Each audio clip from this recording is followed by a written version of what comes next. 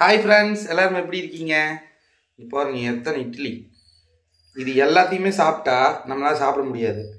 மொத்தம் வந்து பதினாலு இட்லி இருக்குது. இப்போ இதைய நம்ம உப்புமா பண்ணோம்னா ஈஸியாக சாப்பிடலாம். இப்போ இந்த குண்டானில் மா மாவு இருக்குங்களா? இந்த குண்டானில். இதோட பேசி பேசி குண்டான் குண்டான்னே வருது. இந்த பாத்திரத்தில் மாவு இருக்குது. வெங்காயம் போட்டு தோசை சூட போகிறேன் அப்புறம் நேற்று செஞ்ச நம்ம தக்காளி கடையல். இப்போ தான் ஃப்ரெண்ட்ஸ் காலையில் எழுந்திரிச்சு இளநீ சாப்பிட்டு காய்கறி கொண்டு போகிறதுக்கு ஒரு நாலு இளநீ வாங்கி வச்சுட்டு வீடெல்லாம் அப்போ தான் கூட்டிட்டு பாத்திரம்லாம் கழுவிட்டேன். போய் இதை சமைச்சிட்டு எப்படி சமைச்சிக்கிறேன்னு காட்டுறேன் பாருங்கள் ஃப்ரெண்ட்ஸ் பாருங்கள் வெங்காயங்கள்லாம் தான் இந்த மாதிரி ரவுண்டாக சுட முடியாது. அதனால் ஆப்ப மாதிரி தான் வரும். ஆனால் டேஸ்ட்டு சூப்பராக இருக்கும் பாருங்கள் இட்லி உப்புமா ரெடி அவ்வளோதான் நீ சாப்பிட வேண்டியதான் மூணு தோசை இட்லி உப்புமா. யார் யாருக்கெல்லாம் இட்லி உப்புமா ரொம்ப பிடிக்கும்னு சொல்லி கமெண்டில் சொல்லுங்கள் செம்மையாக இருக்கும் டேஸ்ட்டு தோசையும் வந்து இந்த கொஞ்சம் புளிச்சா ரொம்ப புளிச்சா நல்லா இருக்காது.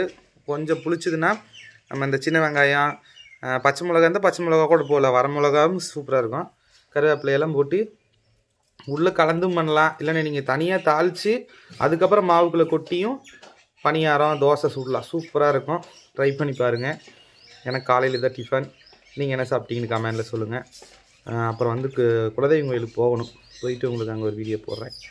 ஓகே ஃப்ரெண்ட்ஸ் என்ன சாப்பிட்டீங்கன்னு மறக்காமல் கமெண்டில் சொல்லுங்கள் அப்புறம் இன்னொன்று நிறைய பேர் கமெண்ட் பண்ணிட்டுருக்கிறீங்க எல்லாத்துக்கும் நான் ரிப்ளை பண்ணலன்னு கோச்சிக்காதீங்க கண்டிப்பாக டைம் இருக்கிறப்ப எல்லாத்துக்கும் ரிப்ளை பண்ணிடுவேன். சரிங்களா? ஓகே ஃப்ரெண்ட்ஸ் அடுத்த வீடியோவில் பார்க்கலாம். Bye friends